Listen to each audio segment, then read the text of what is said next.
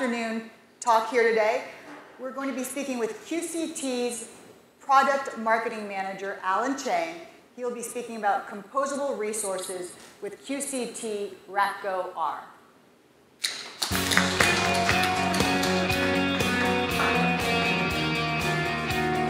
Uh, it's actually more people than I expected. So, um, thank you guys for joining the, joining the speech. So today I'm going to talk about Rackgo R, and hopefully you have heard enough and have a little bit of on what our uh, President Mike was saying, and then also James was saying. I'm going to go a little bit more detail, and then see how you might feel about it, and I'll be here for the rest of the day, so if you have any questions on the slides I'm presenting, uh, feel free to actually to me, and I'll be more than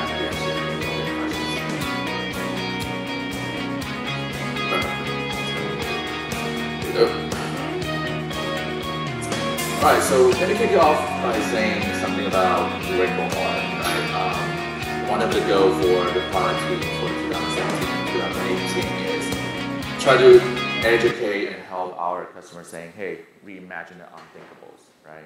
There's a lot of conventional ideas that we feel like, hey, couldn't be changed, and but we try to break that barrier, allowing um, the ecosystem to adopt new technologies and then also try to be a little bit more disruptive and then bringing some of the new things to our customer and hopefully help them to actually stay competitive in their respective market.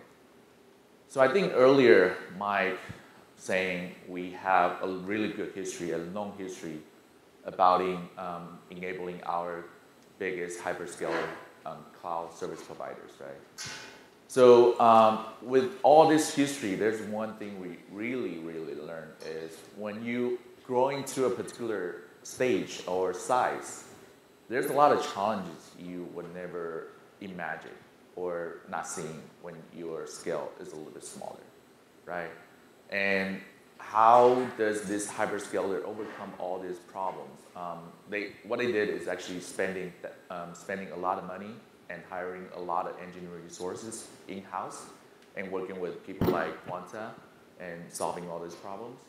And when we bringing our QCT brand to the market in 2009, one of the goals is bringing all these philosophies to the wider public. I would say free, and then helping the data center actually become more efficient in general ways, right? Not just really focus on the hyperscalers, right? We feel like there's a bigger market, there's way much more data center that was built out outside what Facebook was building and Microsoft was building. And then everyone should be able to in, enjoy those learnings or that we have learned from the hyperscalers. So why hyperscalers? One of the trends we've seen in the past couple years is like the hyperscalers are, I would say cross-vertical. I, I, don't know if that's the right word to use, but um, they are penetrating other verticals and then like the conventional telco, we'll say, right?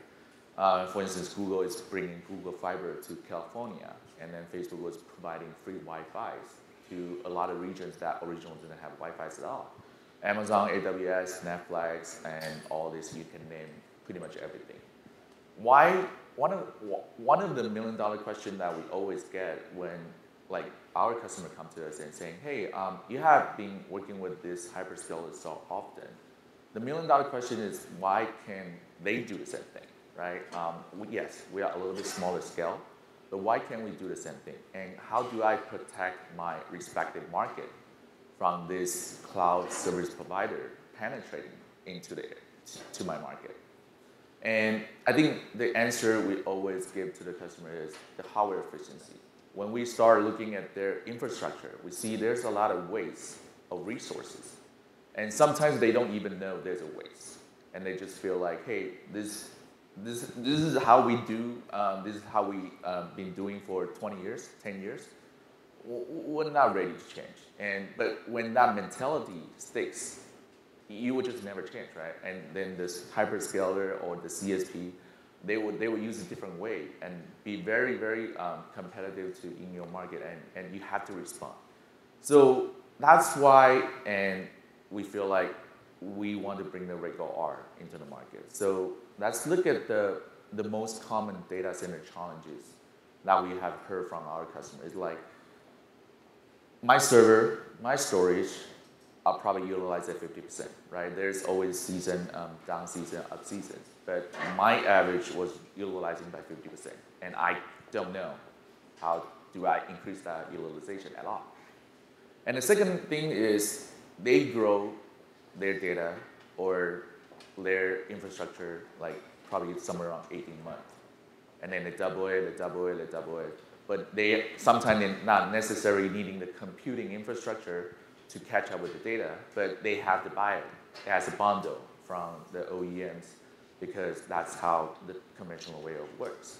So even though you just need storage, but you have to sometimes just buying the computer at the same time, and you were again that computer was sitting there doing nothing, and your utilization rate just dropped again.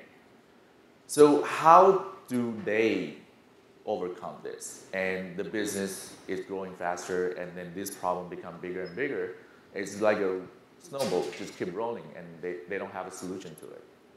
So when Intel introduced uh, disaggregation, uh, the rack scale design, uh, about, I would say, five years ago to Quanta, we, we feel like, yeah, this does really solve a lot of problems that our client couldn't solve back then. And why disaggregation? Again, like I said, there's a lot of different rate of growth in different perspectives. Sometimes you have the storage going faster, sometimes you have computing going faster, sometimes you just have networking. And then all this is in the different ratio, different path, and then you just you just don't know how to control all this, right? So when you having the disaggregation, what you can do is taking these racks as an example. This is how you traditionally will probably buy things from OEMs, right, or Quantas. It's like you're buying a rack, it's very specific to one application, it's very specific to the one thing that you want to do. And when there's a new service was introduced by, by your competitor and you want to do the same thing, you have to go through the very lengthy um, procurement cycles and then figure out what kind of stuff you want to buy and then choosing the vendors that you want to buy from. And then that's just way too much of time. And then today, time is money, and then speed is money. And by the time you respond, you're, you're, you're late, and then your, com- your competition is already eating the market or having a majority share of the market. So if you imagine, you can recompose all the existing hardware that you have in your, in your disposal, and then recompose it in a different configuration or different behavior, just based on your current need, not the needs like you need five years ago or the need you have 18 months ago, but recompose it to what you need today. And wouldn't that be really beneficial? So this is the basic concept of what we want to do. But in order to do that, there's actually a lot of work, right? By saying it, hey, why don't we recompose it? I would just want to do whatever I want to do. That, that sounds like a right way to do. But when, when we start looking deep inside how the technology works and how everything was interconnected to each other, you start finding a lot of challenges you have to overcome. So as a very, um, I would say, a leading provider in technology or a hardware, um, for us is basically come back to our root and saying, hey, if this is the concept, how do I, what do we need to change? And what other things I might have to bring to the market in order to make this whole thing works? Intel, as a really good technology leader in computing, they will come out with a concept saying, hey, let's focus on the compute first, and then let's do a recomposable compute and the storage and see how that works out. But Quanta, we do see a lack of uh, uh, a consideration in the networking side of it. And then because we have done um, networking, storage, and compute all together, so we just feel like uh, in order for this to actually do really reach the market that we want to reach and really solving the problem that customer having, we have to have all this computing, networking, and storage all together mapping into this entire concept, not just compute or not just storage or simply not just networking itself, right? All three things has to work together under the single management ability in order to get this concept to really work out, right? So in terms of the hardware side, we kind of redefined the way we want to do the compute. We redefine how, what kind of components we really need in terms of how the storage, um, the JBOF or the NVMe drives, or how the FPGA and GPUs or even the networking switch, management switch has to be, to be defined. So we're really happy and excited to say, hey, Mike made the announcement, Rackgo R is available today. And then you can actually purchase all these building blocks available from our website.